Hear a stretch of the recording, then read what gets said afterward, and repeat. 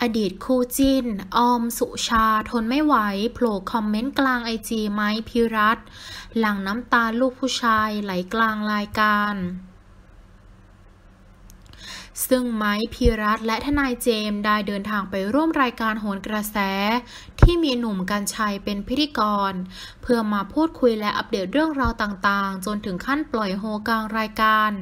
หลังจากที่ฝั่งของซาร่าคาซิงกินีมีการเปิดใจผ่านสื่อไปก่อนหน้านี้แล้วนั่นเอง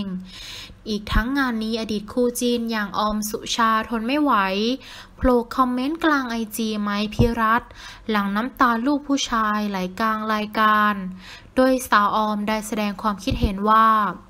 สู้ๆนะไม้ออมเห็นใจไม้จากใจจริง เพื่อนทุกคนรู้มาตลอด เดี๋ยวทุกอย่างมันต้องดีขึ้นแน่ ๆ ถึงเราไม่ได้เจอกันนาน แต่ออมยังเป็นห่วงไม้เสมอ สู้ๆนะเพื่อน อีกด้วยนั่นเองค่ะ